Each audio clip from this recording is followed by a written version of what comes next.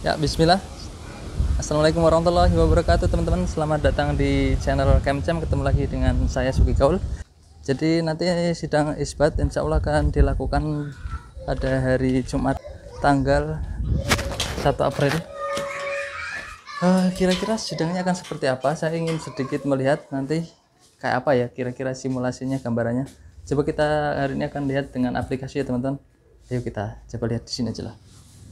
Di sini. Ya kita akan pakai aplikasi Stellarium ya teman-teman. Ini aplikasi yang sangat bagus terutama untuk astronomi ya teman-teman. Baik baik baik teman-teman ini langsung saja ini adalah hari ini ya. Ini tanggal 28. Sekarang kita akan ke hari Jumat teman-teman.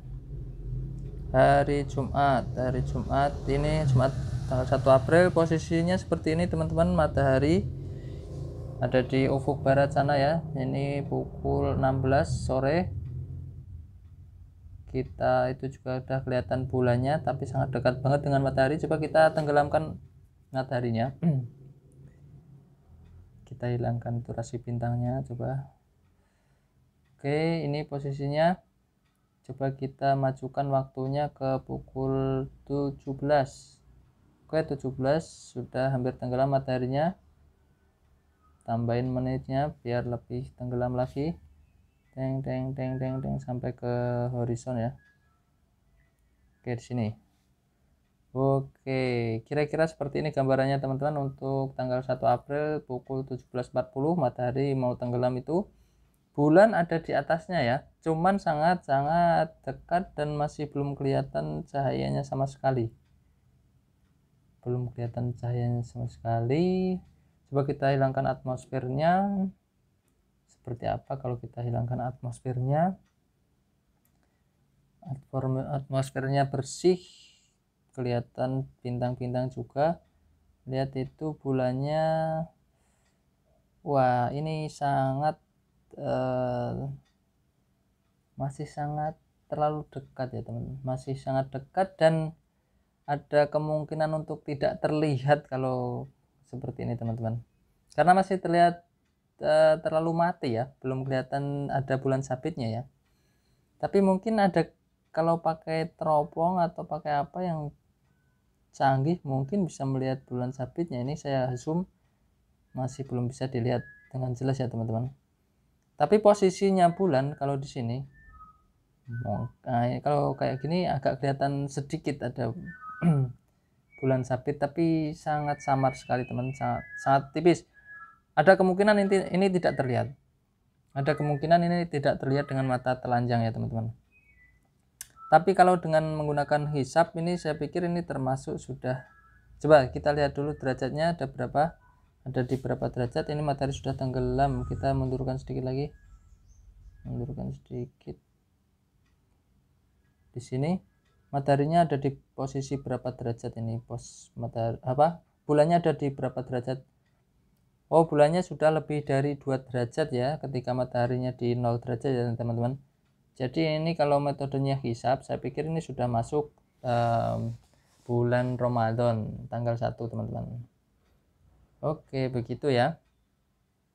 Namun namun meskipun demikian karena tidak semua tidak semua kalangan menggunakan metode hisap ya teman-teman. Ada dari kaum muslimin juga yang e, berpegang pada prinsip ru'yah jadi tetap harus melihat hilalnya.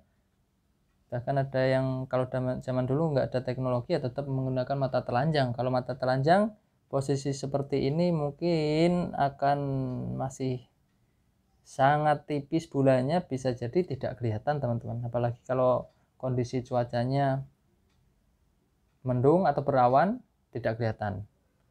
Atau mataharinya begitu terang juga tidak kelihatan bulannya. Bisa juga kan? Nah kalau nggak kelihatan artinya ada yang akan memutuskan bahwa bulan sabannya digenapkan menjadi 30 hari.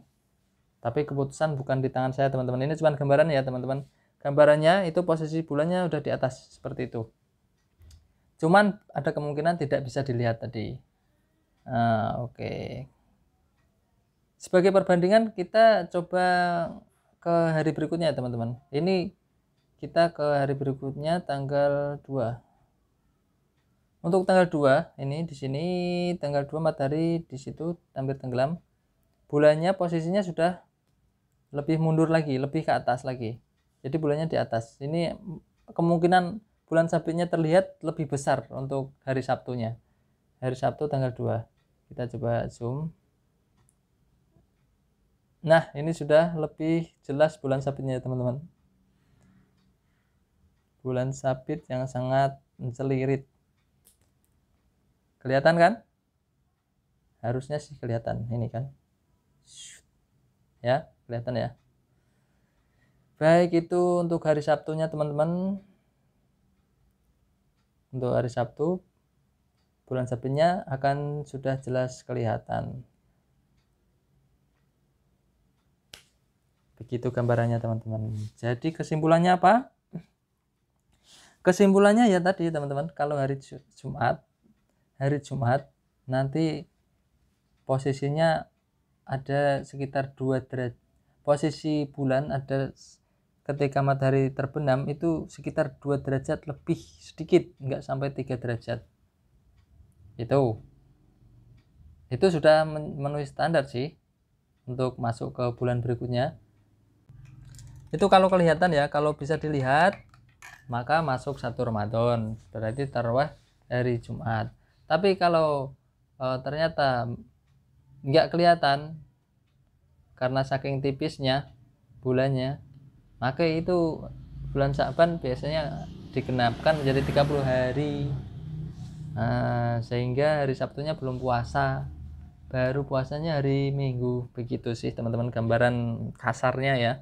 Tapi saya di sini cuman e, bersimulasi saja. Ini saya nggak punya wewenang apa-apa untuk memutuskan apa pun. Tapi gambarannya seperti itu teman-teman.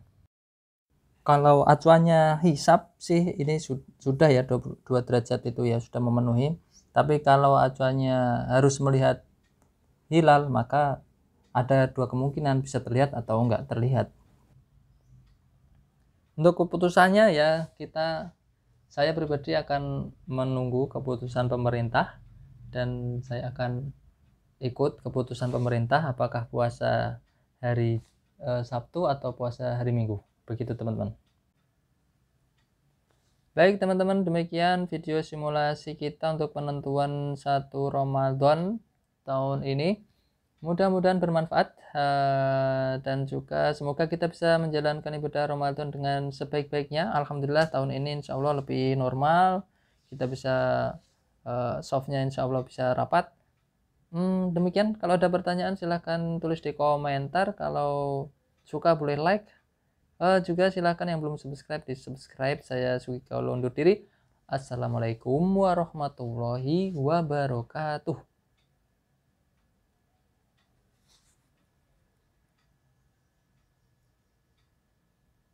Mr. Camburo.